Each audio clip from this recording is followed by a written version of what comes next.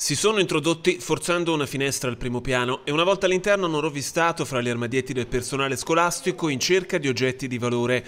Magro il bottino per la banda di ladri vandali che nella notte di Natale sono entrati alla scuola media Franca Papi al Varignano a Viareggio.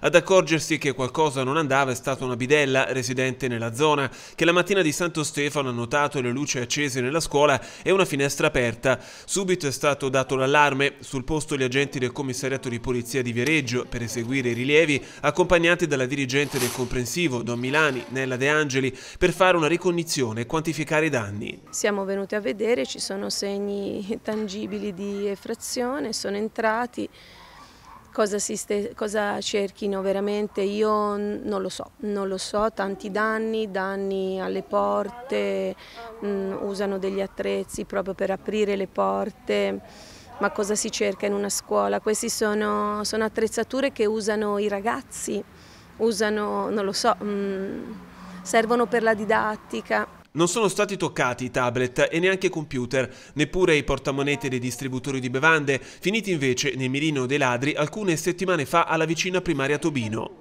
Molto, sono molto amareggiata, mi dispiace perché lo sforzo che facciamo è enorme, enorme e questo fa molto dispiacere. Ho già avvertito, sono venute le forze dell'ordine, ho già avvertito il comune, l'assessore alla, alla pubblica istruzione.